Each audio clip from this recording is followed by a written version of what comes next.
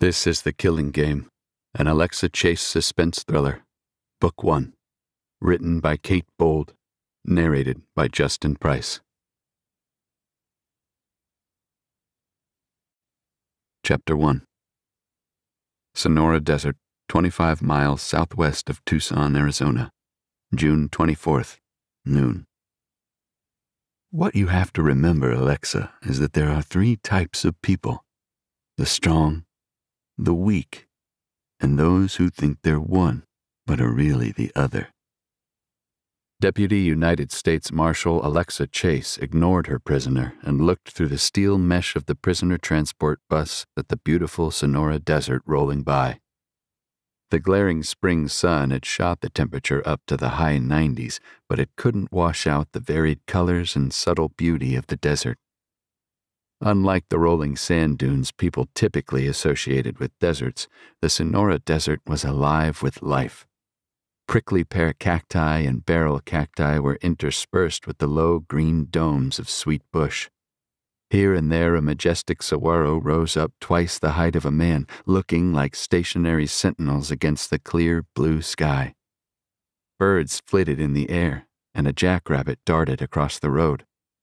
The rocks were varied hues of browns, oranges, and reds that would turn brilliant in the region's matchless sunsets. A much nicer view than the one inside the prison bus she was riding, but she forced herself to look back at her prisoner.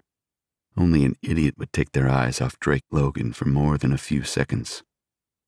He was a small man, barely five eight and slight of build, but Alexa knew he compensated for this with a surprising strength and cold blooded ruthlessness. Soft, intelligent brown eyes looked out from an angular, poorly shaven face beneath a shock of unruly brown hair. Drake smiled a little, knowing she didn't want to hear what he said, but also knowing she was a captive audience. Not that he needed much encouragement. Dad would have said he could talk the spines off a cactus. You see, Drake said, raising one manacled hand to his thin lips as if to smoke a cigarette, an odd habit of his. The duty of the strong isn't to crush the weak like a lot of people think. It's to expose the weak who think they're strong. That's the only way to show society what true strength is. That's why I don't kill children, not even bratty ones. Too easy. A slow clap came from the seat behind him. U.S. Marshal Robert Powers, still clapping, said, Alexa, I never realized we were in the presence of a humanitarian. I am a humanitarian, in a way. Inspiration helps people far more than handouts. Humanitarian contains the word human, Robert said, studying the arm and leg manacles that kept Drake secure to the metal seat bolted to the bottom of the bus. There's nothing human about you.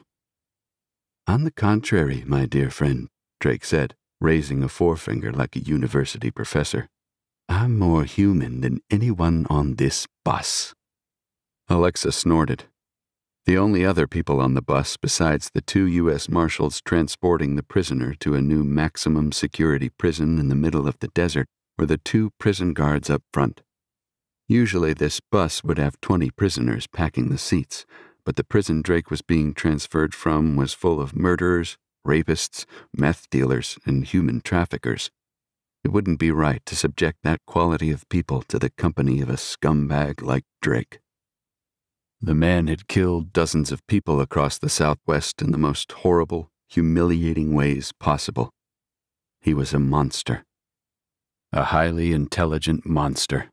It had taken Alexa and her partner more than a year to track him down, and even then it had been as much luck as it was police work that nabbed him. Going to prison hadn't stopped his killing spree either.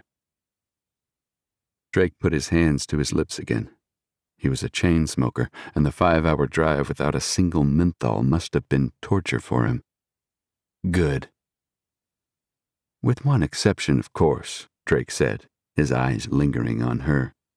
Even chained up, that felt creepy. Alexa knew he was trying to draw her into the conversation. She didn't take the bait. She wanted to get this transfer over, go home, and take a long shower. He looked out the window. Alexa watched his eyes. You could always tell a lot about a perp from the eyes. Drake's never stopped moving. Always searching. Always assessing. We hope you enjoyed this preview. To continue listening to this audiobook on Google Play Books, use the link in the video description.